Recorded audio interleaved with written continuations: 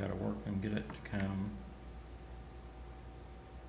back down around this side to about halfway, cause then I want this one to go from here and come back about halfway as well. So, we'll get some solution here. And we're gonna try, pull that away from there so it's not touching that there. And I'm going to try to get some of this detail here to come back down and wrap back around there. Okay, electrodes in place, power back on. There's 20%, 25%. We're getting the growth where we want, but notice we're still getting some creeping down along this way. This is advancing much faster, so that's good. I'll take the power up a little more, deepen that out a little bit. It's drying out, I need to reapply some solution, but I'll see if we can't get a little. There's a hundred percent, no, we've pretty much dried it all out, we're done. So power off.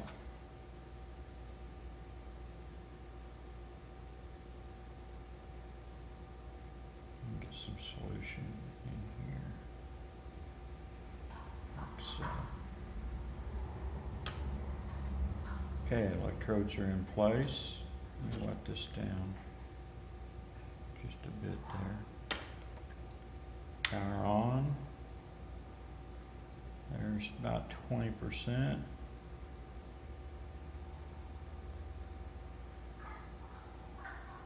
We're talking in the neighborhood of two thousand volts, twenty-five hundred volts. Gonna watch and make sure that this front branch doesn't take off on us real quick. Okay. Power off. Soak this, make sure that that pad is soaked.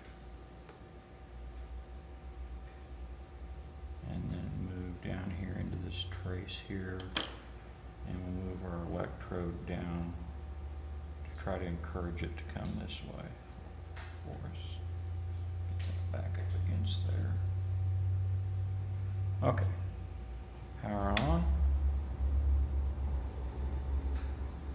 There's 10, 20, 25.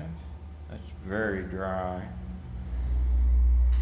It's going down, and that's the edge of the pattern. I don't want to go any further down that side. So now what I need to do is I need to get this pad rolled even further down to try to stop that one from taking off on us and going beyond where I would like it to go.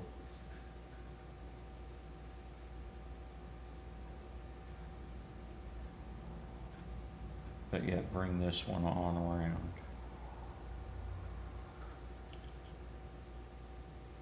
Okay, we'll get some solution in place.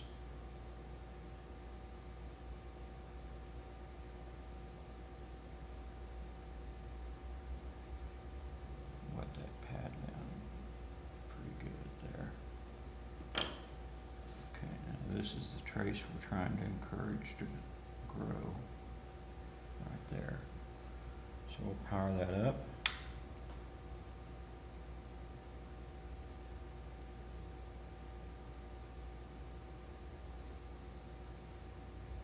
There it goes. If it would make a branch and start, whoop.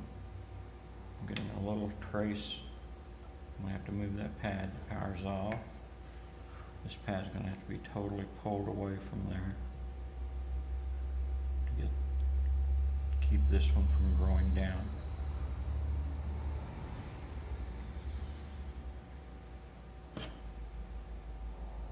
And we'll this even further over here to get, hopefully get a little traction coming that direction. Power on. 20, 25%. Oh, perfect. Exactly what I wanted.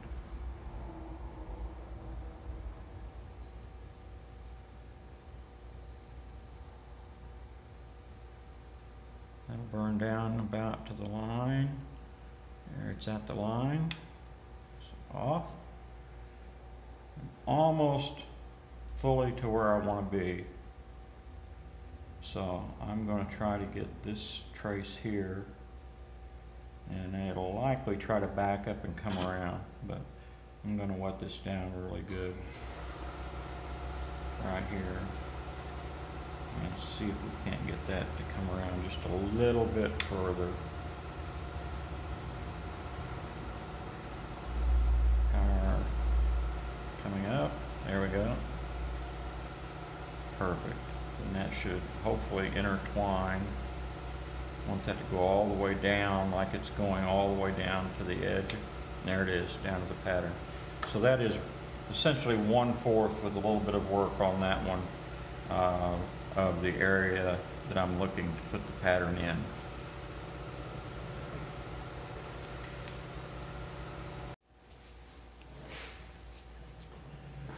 Okay, now if you'll notice, there's a couple things first of all. First of all, we've turned the fore end around, finish up the other half of the front, half of the fore end.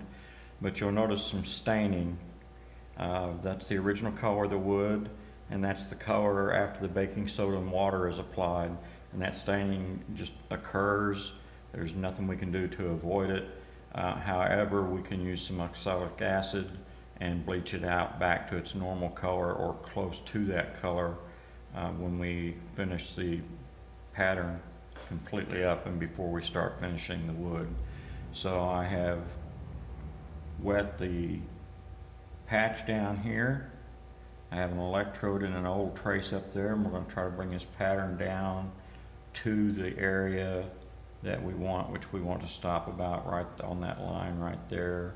We want to bring these branches and propagate them down and this one back. So Power is on. We're about 20%. And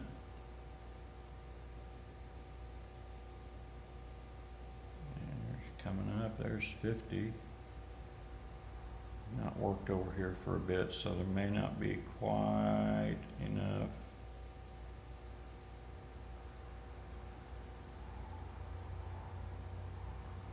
Well, we're gonna have to re-wet.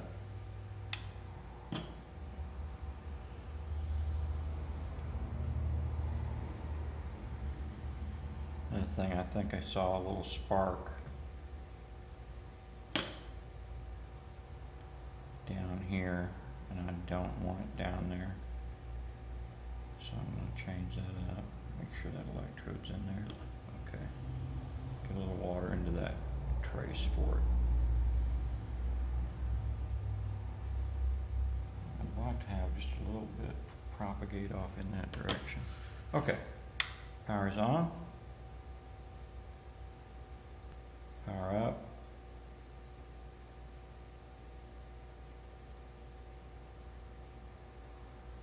Seventy-five.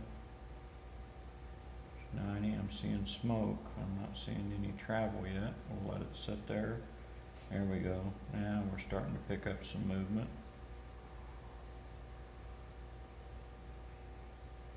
Just let it sit there and burn for just a minute. It's awfully dry though.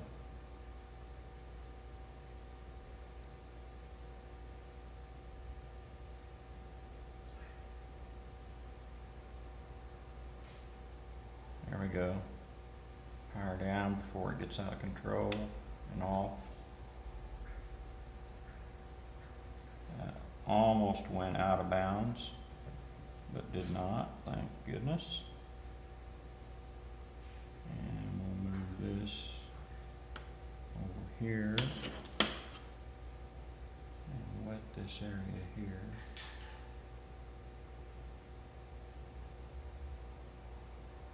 Push that up against there. Okay, here we go.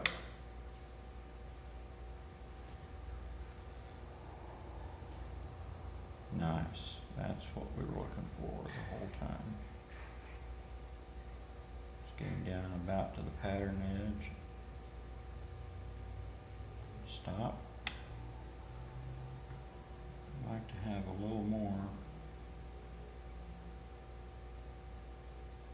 See if this will work. We'll start a new track and see if we'll go backwards into the old one too.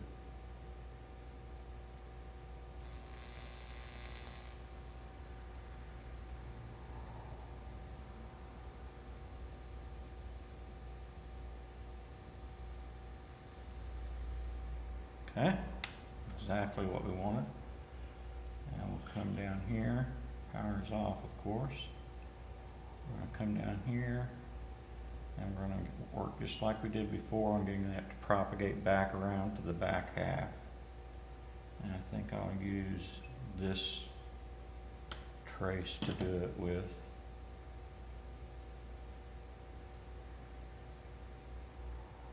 Everything nice and wet. The control of the, of the moisture is really important because if you get too much moisture, obviously it can't burn the wood. And not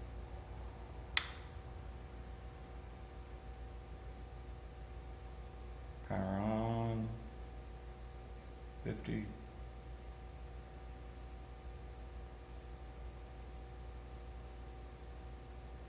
there she goes. We're at about 80 percent. Coming down to the line, branching nicely before it gets to it though. I like that a lot. That is coming out very nicely. I can get it to grow down now. It's going to run out of steam before it gets there though.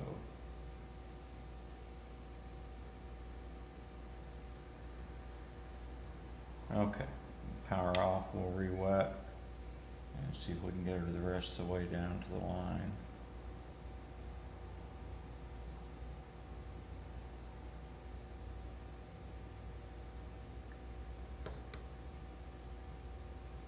Power on. There's 20.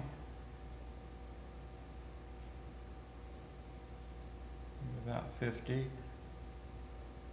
It's really kind of going down the wrong trace right now, but there we go. Now the other one's coming up. Let it burn down. Spreading back. That's working out well. A little bit more will be to the halfway point. We're going to run out of moisture before we get there though.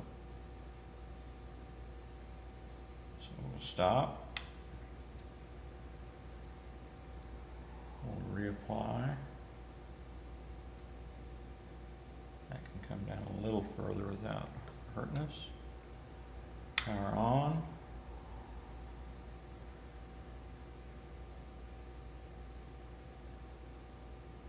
About twenty percent is all I'm running at right now. Increasing it though up to about 40, 45.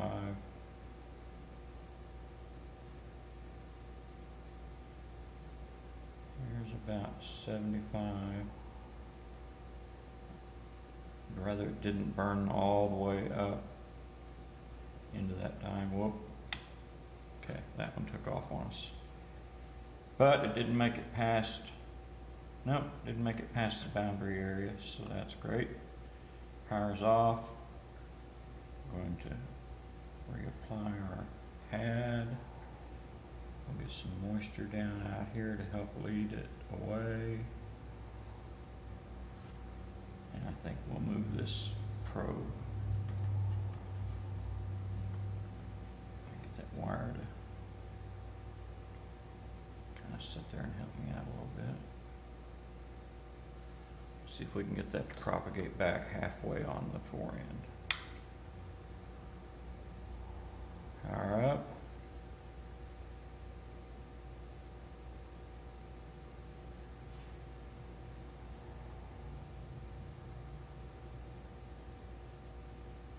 About sixty percent.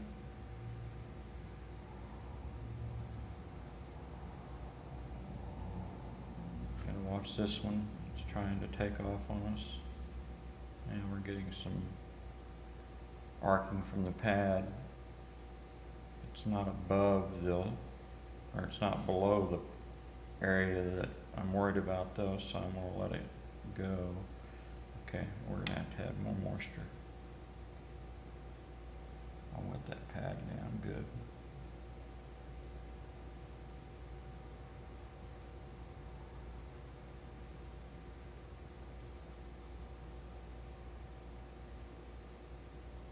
See if we can get it to lead on back this way a little bit.